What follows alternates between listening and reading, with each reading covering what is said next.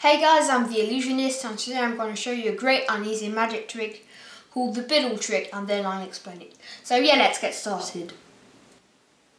So, the spectators can shuffle the cards as much as they want. Then they pick one. Let's say this one. Look at it. Great. There. And I'll ask them to say stop whenever they want. Let's say for example there. So I put the card there. That. Then I mix them up.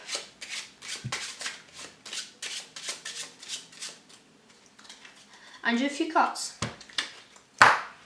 Like this. Perfect. Do another cut. That's great. And now I'll ask him to cut the deck in half like this for example and they will hold this in their hand but as I don't have any spectator I'll just leave it there on the side. And I think their card is in the top five cards. One two three four five. So if you see it don't react. Great I guess you saw it. So I have one two three four five cards but look if I snap my fingers, I only have one, two, three, and four cards. And miraculously, your card disappeared and went in the middle of the deck, upside down. So, isn't it great? I'll be right back for the explanation. So, how does it work? It's actually very simple. First, the spectators shuffle the cards, this.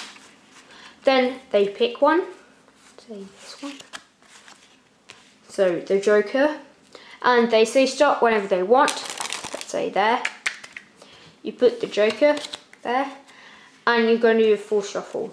You take one card, two cards, you outjog the third one, and you continue normally. Whoops. like that. You square everything up except for the outjog card and you push it in by lifting up which allows you to catch a pinky break like in the stop shuffle video. Then you cut the deck like this. And so now their card is in third position. So now you ask the spectators to cut the deck in half like this and you give them the bottom pile. So right now they feel like they're controlling the piles because they've chosen where they cut and everything and they have one. But actually you're controlling everything because you still have the top pile with their card in third position. So now you say, I think your card is in is in the top five cards. So you can so one, two, three, four, five. You turn the five top cards over and you show them like this. One, two, and the third card, the Joker, you take it but you catch a pinky like this. And when you come back with the deck, you steal the Joker and continue like this.